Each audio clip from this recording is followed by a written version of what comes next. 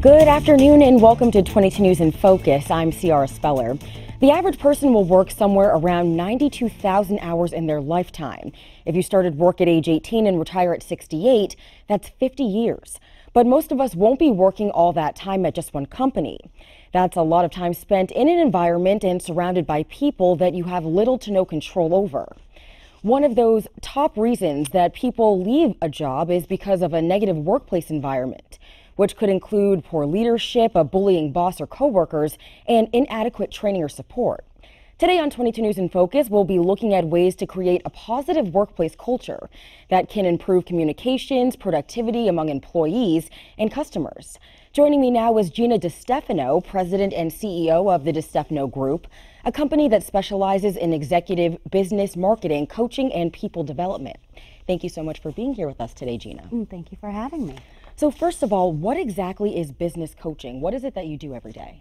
That's a great question. I just want to start with what it's not. People hear the word coaching and they think rah rah, and you come in and you build morale and you team building, and that's like a little part of it. But really, what we do at the DeStefano Group, it's more figuring out the underlying issues of why your company isn't being run the way you want it to, and what is lacking in leadership to make sure that things start to run properly.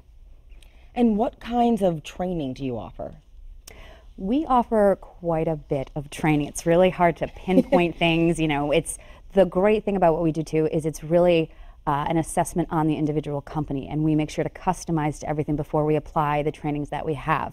Something that we are known for is our SUU system that we have trademarked, which is really the underlying foundation to get all companies working efficiently. So let's talk about the kind of businesses that you help.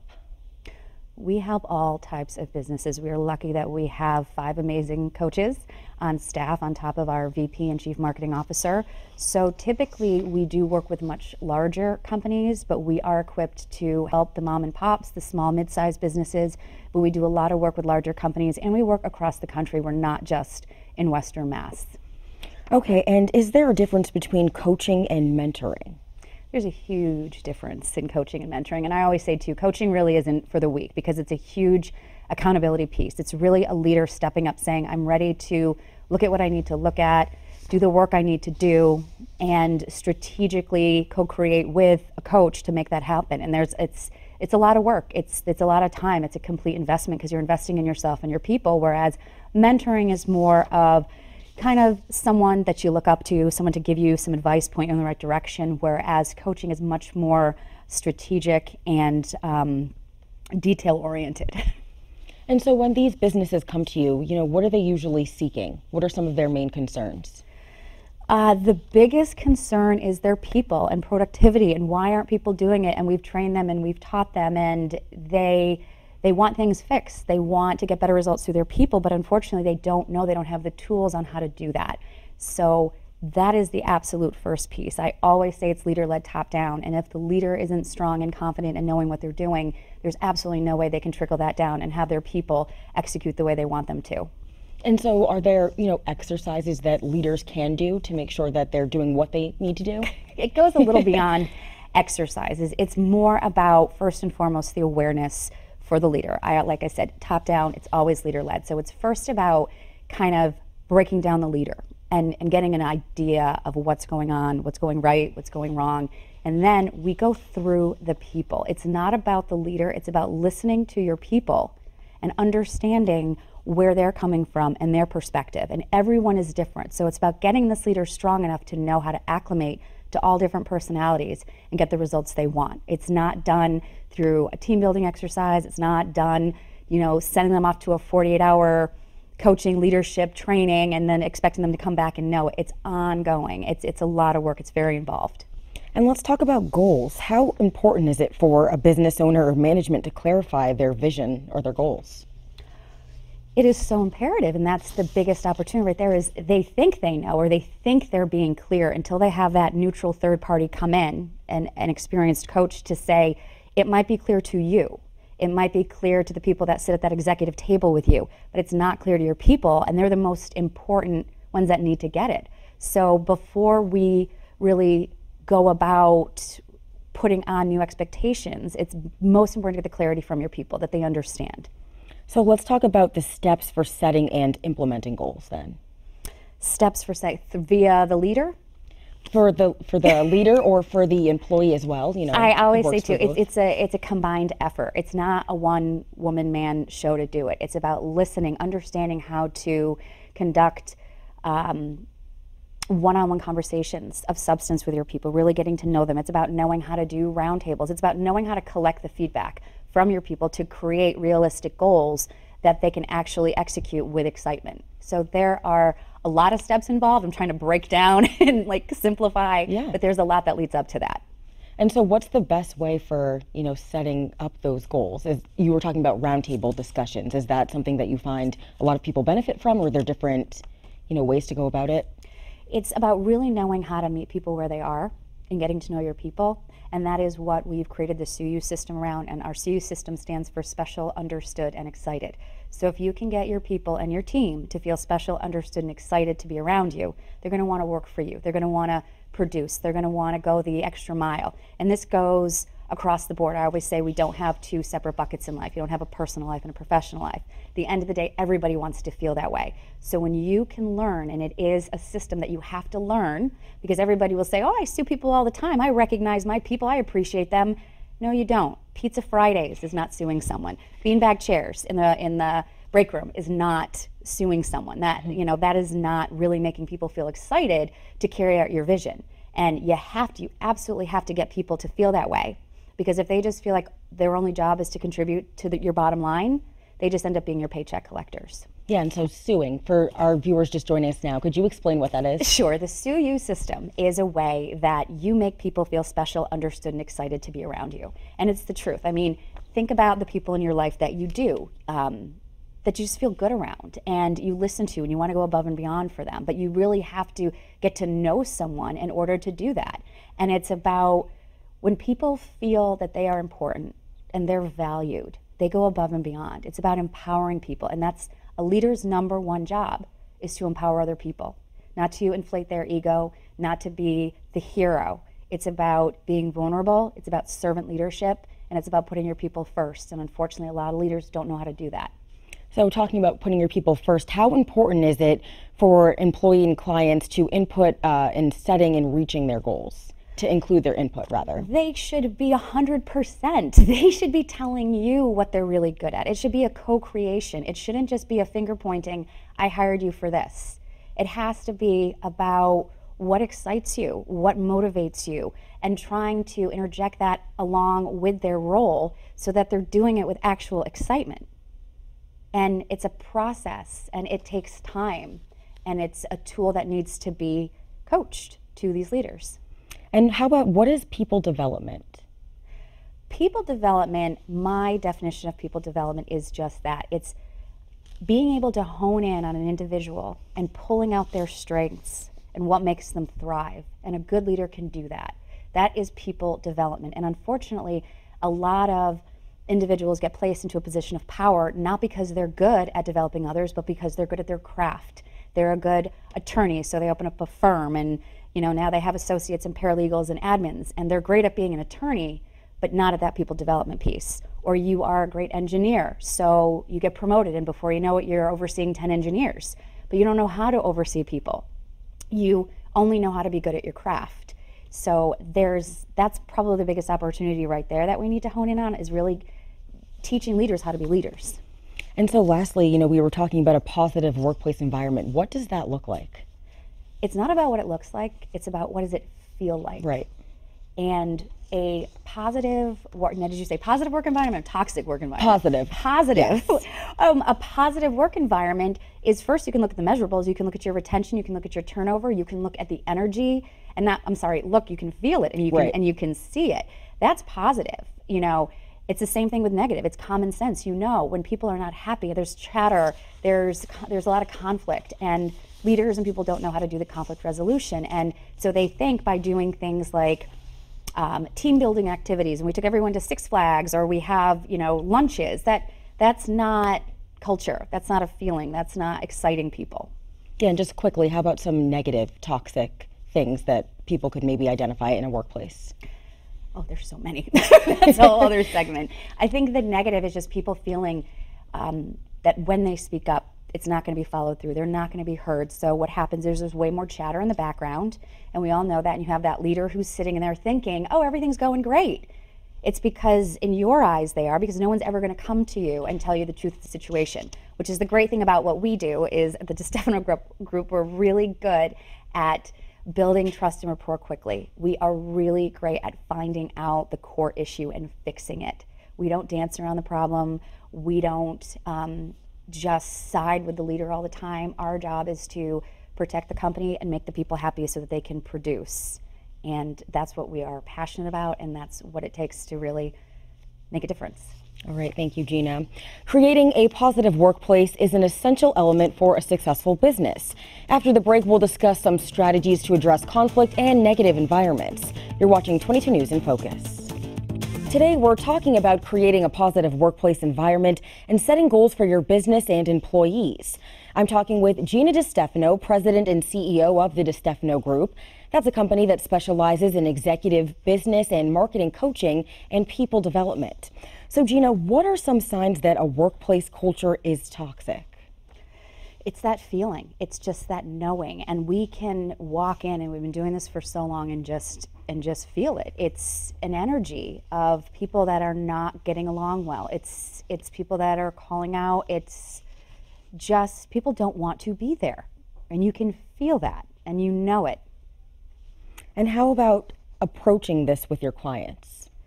This is it's very challenging because no leader wants to hear that they're failing.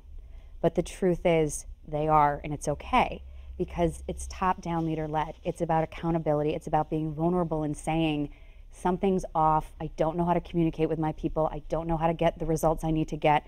I'm scared. I don't know what to do. Help me. And what are some steps that you found have worked with your clients to improve the workplace? The biggest steps is raising their awareness and getting them to be comfortable with being uncomfortable and being vulnerable and letting us do what we need to do. And we have phenomenal clients, and I'm always so impressed by the clients that have the strength and the courage to say, help me out, because our clients range all over the place, very, very successful businesses. And it doesn't mean that a client, our clients are not struggling financially. It's more they're struggling from that people piece that they want to create great cultures and create great environments and do everything they can. So that to me shows very, very strong leadership when you are, your company is financially successful, but you're still saying something's just not right and it starts with me and I'm willing to fix it. Right. So we've all been in a situation where we might not be getting along with our manager. What would you suggest? How would you approach that? It's very hard because when I coach too, and when we coach, we coach both sides. We are working for the employee just as much as we are for the owners and the leaders. So I always recommend to employees First of all, follow the chain of command if there is one. There's no need to run to the president right away. If you have a supervisor, you go to the supervisor. If you're not comfortable with that, you find a different avenue. But there's also always power in numbers. So if you're feeling something and your peers are feeling the same, more people, more power with it. But I also always encourage, because I play both sides of the fence, no leader just wants problems being brought to them. So if you can get a group together, have a solution say, hey, boss, this is what's going on, this is how we're feeling, but we have some ideas of how to change that. That way, the supervisor is much more open and not feeling attacked and on defense. So, there are strategic ways to go about this. But number one, follow the chain of command. If you're not comfortable with your supervisor, go to their supervisor, but also try to get your peers and other people together that might be sharing the same feeling and bring the solution along with the concern. Now, how about a good worker that doesn't get along with other employees? What can a manager do to address that? We really need to find out why, because regardless of the results that this person is getting, if they're getting them without the correct behavior and causing toxicity in the work environment, we need to address that. So, this is again where a leader needs to be really strong, figure out the problem, and if it is that person and they just are a cancer to the environment, you're gonna have to get rid of that employee you're going to have to coach and counsel them out because it doesn't matter the results. If they can't get along and they're causing detriment to the culture, they need to go. What are some conflict resolution strategies that you suggest to your clients that they can use with their employees and customers? Always approach everything with kindness, empathy, and meet people where they are. And that is hard when emotions are high and we're struggling with customers or clients or employees. Our first means of defense is to attack or to protect yourself. And it really just means meeting them where they are. What is this really about? I understand you're upset. There's there's definitely words and tools and that can be taught to diffuse situations.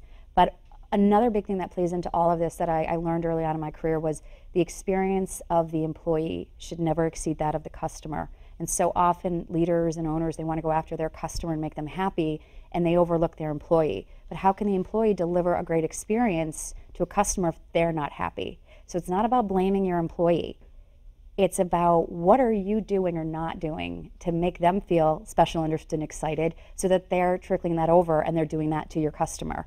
It's not about the customer, it's about your employee. And people forget that. So now let's talk about the customer a little bit. Sometimes a customer could come across as demanding and difficult to please. So how can you address the customer's needs or concerns without the fear of losing their business? I always say it's it's really so simple, but it's not easy. When I say meet people where they are, it's it's understand. Yes, you're upset. You should be upset. And what are we going to do to fix the situation? Take eyes out of it. Take I statements. Take emotion out of it. And what do you need from me to make this better? What could I have done different? When somebody feels that you're actually working with them and beside them, things go so much smoother than coming at somebody from an authoritative perspective or telling somebody why they're wrong and you're right. And how important is it having a good relationship with the community and the neighborhood where you have your business? It's huge because let let your community be your advocates. I mean, we have so much amazing things you can do with social media and marketing to get your business out there, but nothing will ever replace kindness. Nothing will ever replace getting out to the community and, and talking to people and greeting them and suing them. And you can't do that over social media. You can't do that with technology. You can do that with being a good person. And when you do that and you have that experience on someone, your community becomes your marketing. They become your advocates. They're talking about you because of the way you made them feel. And what are some of the ways that you can involve employees participating in community centered events? I love this question because it, again, go back to your employees and ask them, what do you like to do? What excites you? Do you love animals? Do you love reading? Do you love books? Okay, well, let's go out to the community and go towards those industries, and then we'll figure out how to get our product in there. But if you're passionate about where you're going and what you're doing, you're going to bring to life your product or your business of what you're trying to sell versus me saying, okay, I'm going to need you to go knock on all of these doors and do this, this, and this, and say this, and I hand you a script. But if you're not passionate about that script, if you don't want to be knocking on those doors, and then I'm going to get mad at you for it, instead right. of saying, how are we going to work together? Like, I know nobody likes to cold call or knock on doors, right. but what are we going to do to make this fun for you? Like, what about this can can get you excited to do it? Right. It's about open dialogue and conversations. And we forget that because we're so busy focused on our bottom line and the numbers and the results.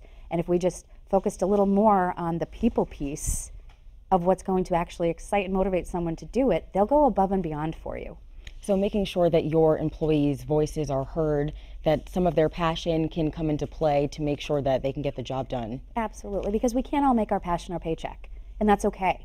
But what you can do is take your passions and bring it to work to make work more fun and enjoyable to not only for you, but for everyone you surround yourself with, because everything is energy and you want to be that person. You sue people, people sue you back, and things get much better. Environments get much, much, much more enjoyable to work in. And so, do you think you know doing things outside of the workplace as well can help foster better relationships? Yes and no. Let's be honest. Um, I'm going to go until you really know you have a solid culture Absolutely not. The last thing people want to do after a long day at work or you're on a retreat or something or at a conference is hang out with people at work.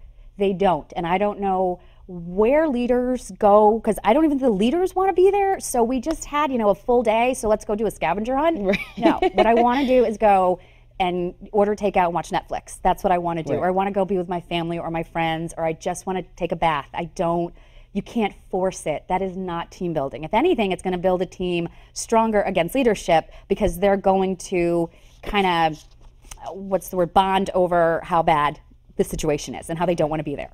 So, sorry, leaders, but outside stuff not not always what you think it's going to be or the results Right. isn't always positive. All right, Gina DeStefano, thank you. And we'll continue our conversation when we return. You're watching 22 News in Focus. Today, we're talking about creating a positive workplace environment and addressing some issues of physical and mental wellness in the workplace. Gina, how can an employer determine if there's a toxic work environment? An employer knows there's a toxic environment if they don't feel that they can speak openly and truthfully and, and remove the elephant from the room. And they, when you feel that way in any situation in life, when you're holding back, you're in a toxic environment. It's pretty clear. And let's talk about communication. How important is communication between workers and management and then workers and clients? it's all equally important. And people throw around the phrase, you know, excellent communication skills and we communicate. And communication goes far beyond being articulate or being a chatty Cathy or being able to talk to anyone. Communication is the ability to remove the elephant from the room. And that is hard. It's hard to address issues that nobody wants to talk about, to get right down to the core of it. Most people want to dance around it, most people want to band aid it.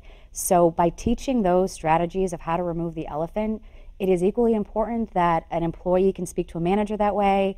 Manager relates to customers, the whole the whole circle of people involved.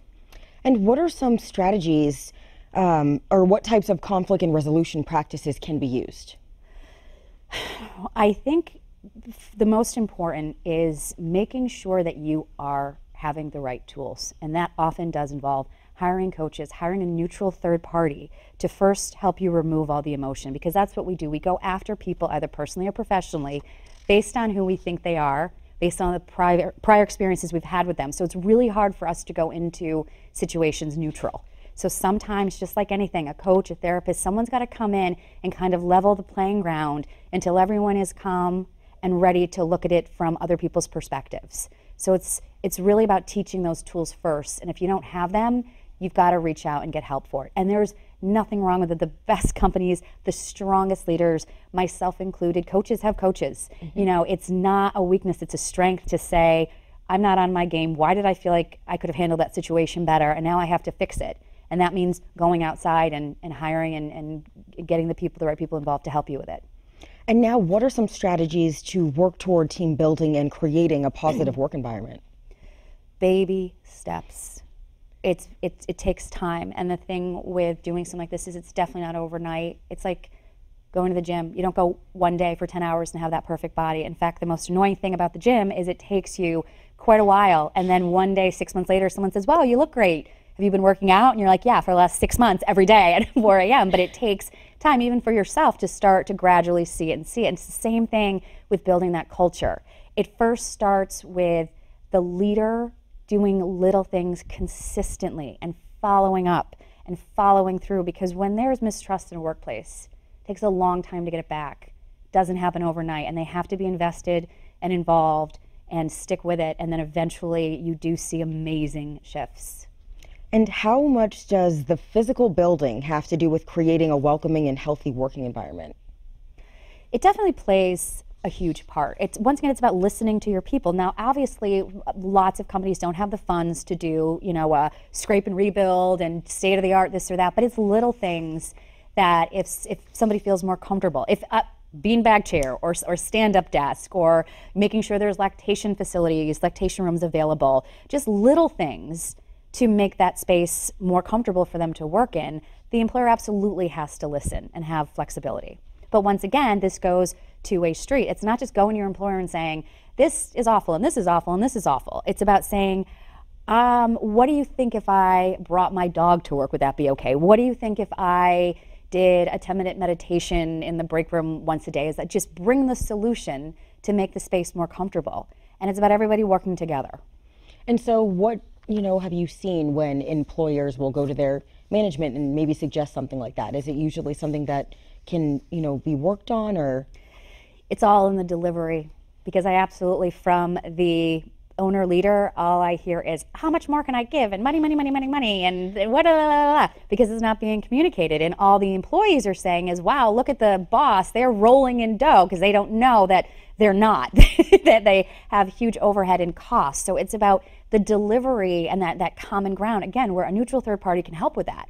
I can get the employees to see that no, just because they're the president of the company doesn't mean that they have a money tree in the back but I can also get the owner or leader to say, you got to listen to your people and help them out because they're driving your bottom line. They're the ones who are making your money. You got to listen to them. And you got to meet them halfway. You have to meet them where they are. And it's really, again, simple but not easy. It's about people willing to be open and vulnerable and find common ground. And so, what if there's, um, you know, an employee, maybe they're a little timid, but there's a suggestion that they'd really like to have heard? Would you maybe suggest? Just having a suggestion box or some way to go about it so that they don't have to actually physically, you know, bring this to their manager? Absolutely, because those are great things too. Because you have a lot of people, and you don't have to be a boisterous extrovert to be heard. But if you tend to be more introverted or quiet and you want to be heard, but these are skills that a good leader will be able to pull out of people and create the environment. So I can't stress enough. It's leader led top down that you don't band aid things by just throwing a suggestion box in the corner. It's about how do I need to talk to Sally differently than Tom to get her ideas and make her feel safe. It all comes down to that leadership and that leader knowing how to develop those skills. And what approaches do you use when you work with a company that's struggling with low morale, high turnover, and other indicators of a poor work environment? You go to their people. We go to the people. We listen to the people first, and we get incredible feedback from that of people saying to us, we didn't even know how badly we needed you until you were here because of experiences they've had with other coaches or business coaches coming in solely focusing on the leader and the numbers and the operations of the company. We also absolutely look at all of those things, but first and foremost, we listen to your people. Why are they unhappy? What will they tell us that they're not telling you that we will get to you and we will fix the problem? And we have yet to fail at it, and we have yet to have that strategy and our CU system not work. So leader led top down all the time. And how about how can employees get involved without fear of reprimand? We touched on this a little bit earlier, but you know, how can how can they get involved?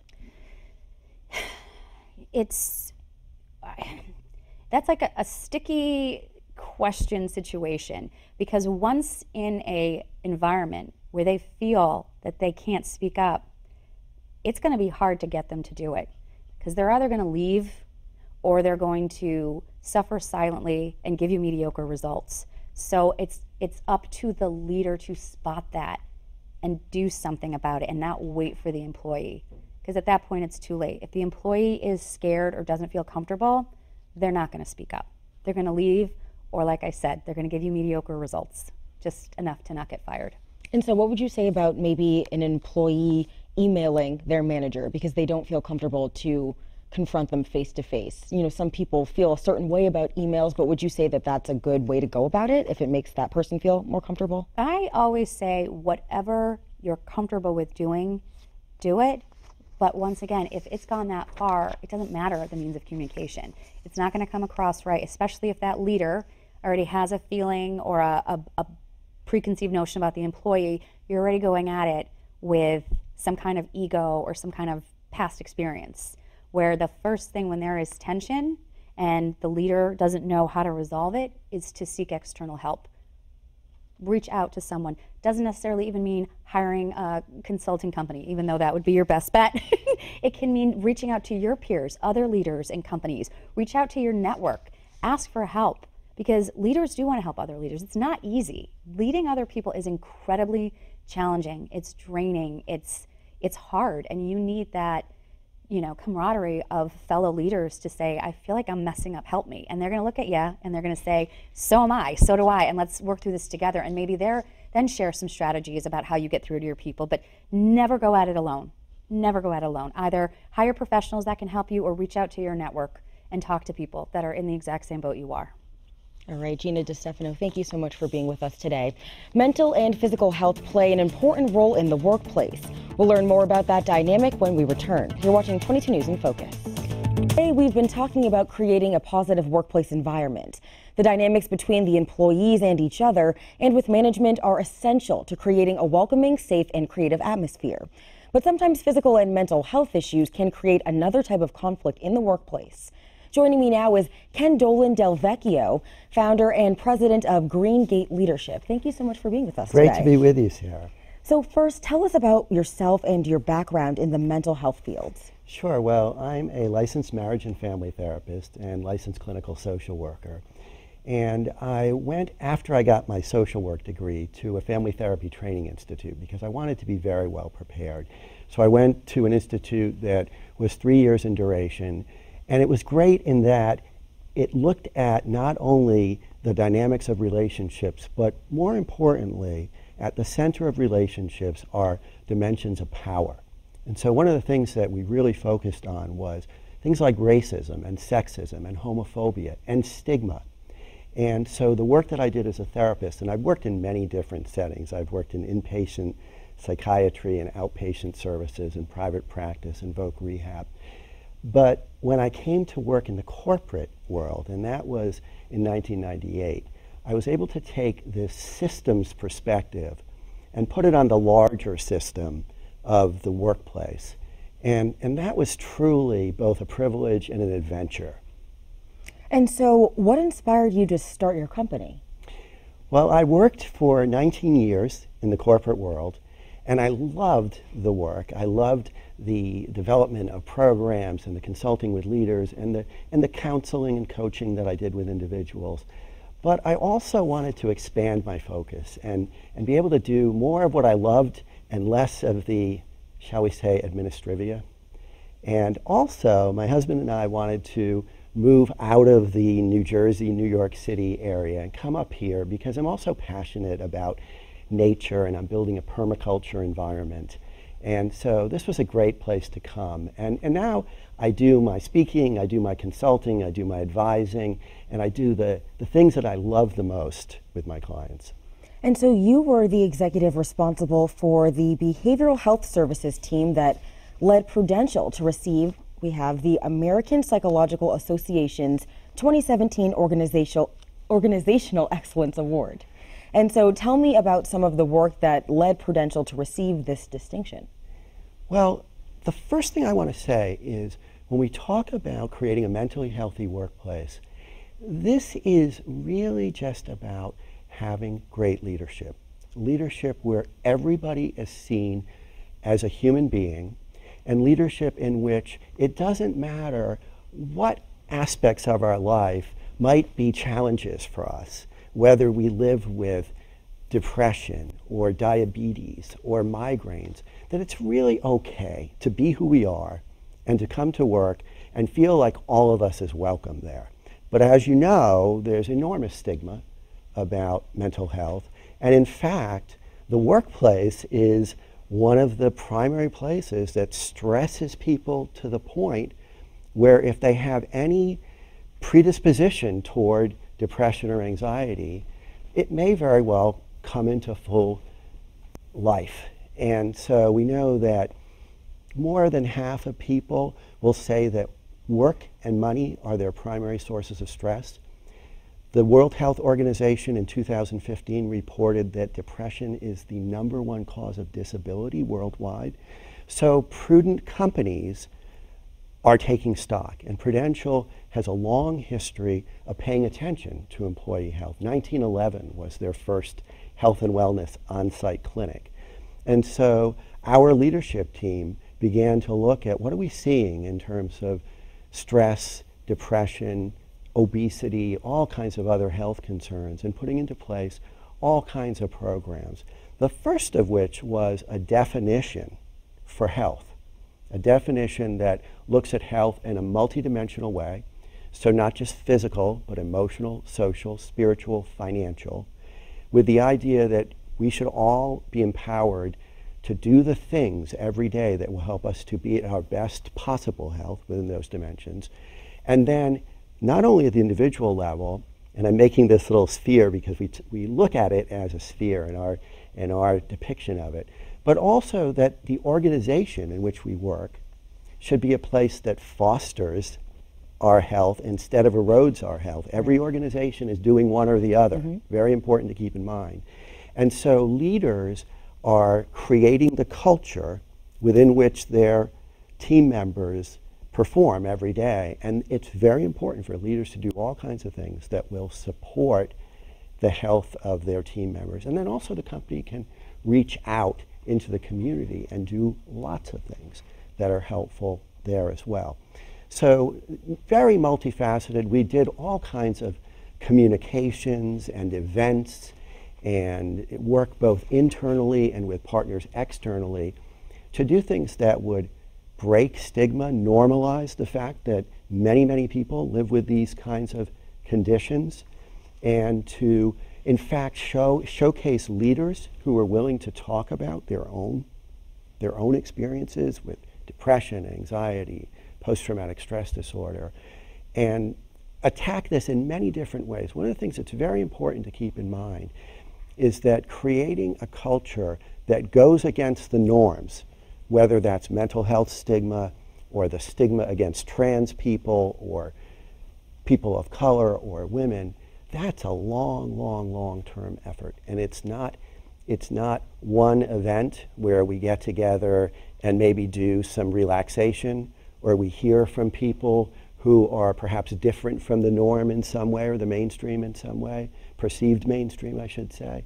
It's an ongoing, multifaceted effort to create an environment in which everybody's welcome, everybody's included, everybody can be him or herself. And so some leaders say that health is entirely a private matter and should not be a workplace concern. What would you say to that? So you think about the fact that we spend almost all of our waking hours working. Right. Whether we're at a particular work site or we're working remotely or we're at an event where we're representing our company. So the environment in which we live is affecting our health. It's either supporting it, promoting it, empowering our health, or it's degrading it, it's challenging it. Why would you leave that to chance? That's the question that I always give back to any leader who would say that is why would you why would you just let that be whatever it may be? And the fact that you're thinking of it in those terms and that you're fragmenting people's experiences in such a way is already an indication to me that there's room for improvement. Right, and so some people, you know, might suffer um, both back problems or Mm-hmm. like migraines, things like that, and they're comfortable, you know, voicing that. But others with, you know, mental health disorders aren't so comfortable. And do you think that that comes into play with the, the workplace environment and how they've been treated in the past? Of course it does. And you just think about you think about this idea of power and how power is applied. In most areas of our life, in most of civilization, power is power over, power as domination. And within that way of looking at power, we're always ranking. What's the better way to be? What's the more healthy? What's the more holy? What's the more right way to be? And so we have men have been empowered over women for forever, and we're fighting that. We see great movement in that direction. White people over people of color. This extends even to the right kind of illness and the not so right kind of. Now, why is it okay for we for some people to talk about their migraines, their back pain, their cardiac problems, but not the fact that they live with depression or they live with anxiety, which, by the way, these mental health conditions are typically very interwoven with any other kind of significant physical, quote unquote, physical problem. Why can't we mention that we had a rough time with our depression or we had a rough time with our PTSD? And it be expected that that's just part of the human condition. Right. That's just part of life. All right. Thank you, Ken, so much. And we'll continue our conversation after the break. You're watching 22 News in Focus. Today on 22 News in Focus, we've been talking about creating a positive workplace environment and addressing the issues of physical and mental wellness in the workplace with Ken Dolan Del Vecchio, founder and president of Greengate Leadership. Ken, when a client contacts you for help, what are the first questions you have for them? What are you looking for? Well, I'm looking for what their need is, whether they want me to come and speak as a starting place, which is often the case, or whether there's a particular issue that's cropped up that they would like to start talking about. And really, what I'm looking for is what the experience is so far at their workplace and how much of an understanding they have of what it's like to, to be somebody who comes to work at their organization on a day to day basis. And so, what are some of the strategies that you suggest for creating a positive and healthy work environment? Well, there's so many strategies, but it really does start with leaders at the very top level being self aware and making an effort to connect with the people around them in a way that is welcoming and embracing and clear in their communications and direction. And there's another piece that's incredibly vital, and that is it's important for leaders at all levels, top on down, to have a good idea of what they're asking of their team members in terms of productivity. Because there's so much stress that exists in most of our workplaces, and many times leaders are so pressured themselves that they don't have a good sense of what they're asking, what's on their team members' plates really. Because if, if people are overloaded, they begin to have all sorts of problems and show all kinds of difficulties. And let's talk about the physical work environment. How important is lighting, ventilation, cleanliness, things like that for, you know, somebody's well-being? There, well, we shouldn't work in a filthy environment, right? we should work in an environment that is pleasant to the eye and the senses. It's important for, for those kinds of baselines to be present, but a lot of times we kind of work where we do because the environment we work in is geared towards a certain kind of function. And also, the, the organization, depending on its state of development, might not have a lot of money to give to aesthetics. But one of the things that it's important to do is for the employees, the workers in an organization, to be asked periodically, what's it like to work here? Do you have any specific suggestions? I know of one organization where there was concern that people were not enjoying the environment and they were asked, what, what, what would you like us to do? And almost unanimously they said, paint the restrooms. Mm. That's what mattered to them because when they took a break, they were in an environment that felt like it was just disrespectful right. to them. And let's talk about personnel issues. What do you do if you have a difficult boss? what do you do if you have a difficult? Well, we've all had difficult bosses, right? Right. And and I'm gonna I'm gonna interject something here that I think is important. One of the things I coach all of the people I work with on is you really have two jobs. You have the job that you're contracted for today, and then you have the job of developing yourself, knowing what your long-term goals are, developing your network, scanning for maybe there's training I should take that would help me develop the skills that'll help me move forward. That's the job of stewarding your career. And if you are doing that, you're going to be able to manage whatever sort of adversities come up with greater clarity and decisiveness. But if you have a boss who is a problem in one way or another, the first thing you want to think about is what, does it make sense to approach the, him or her directly? Does it make sense to talk with him or her directly? in many cases, that's probably something that you're not going to feel like you're going to do because you've probably already tried that, or you've been given signals in many ways that this is somebody who's using their power in a way that is not, they're not open to that. So at first, I think you should try, if it makes sense, to go directly to your supervisor, your boss. If HR, human resources, is functional in your organization, if you see HR as an honest broker and not a rubber stamp for management. And sometimes that's the case, unfortunately. I apologize to my wonderful HR colleagues who may be listening. Then you would want to, to speak to human resources. But the, you're in a tight spot, and it shouldn't be that way. Sometimes you want to do a skip step and go to the next person. But this is why it's so important for supervisors and leaders at all levels to cultivate an environment in which people who are on their team experience them as facilitating, as helping. The, the, the best way to use power is to see power not as the right to dominate, but as the responsibility to support shared success. That's power with. So we move from power over, which is domination, to power with. This is the thrust of what I try to do with all of the organizations that I work with. That this is what you're looking for. You're looking for an employee experience that feels like I am engaged in a work in a work mission that I am supported in by the others around me and in, certainly by the person who I report to. Right, and so everybody, you know, will find something stressful at Mm-hmm. their job. But what about excessive stress in the workplace? You know, you can't control everything, but that might lead to you, you know, failing to do your job properly and then having an issue with management. So how should you go about that? Yeah, well, first of all, it's important to know that not all stress is bad.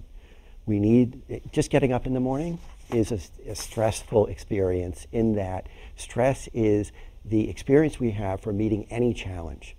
And our temperaments vary tremendously. So some people are going to feel terribly bored if they're not in an emergency room setting. Other people need to have a predictable environment in which the workflow is something they can foresee. But many, many, many people feel greatly overstressed. And if you do, it's your right to talk about work ro- workload mm-hmm. and expectations. Can I negotiate when this work, this particular piece of work is going to be delivered? Are there pieces of my work that are less important than others that maybe we can put aside? Again, it's important for leaders at all levels to have some idea of what they're asking of the people who report to them so that they know whether it's too much or whether it's reasonable. Okay, so making sure that that uh, line of communication stays open as well. It's, it's, it's so important. All right. Thank you so much, Ken. And we'll have the last word for you after the break, so stay with us. You're watching 22 News in Focus. You're watching 22 News in Focus. Today, we've been talking about creating a positive workplace environment and addressing the issues of physical and mental wellness in the workplace. That is it for our program today, but we want to thank our guests for joining us. We want to thank you at home for watching. And if you missed any of it, you can watch it in full on our website at WWLP.com. From all of us here at 22 News, we wish you a great day.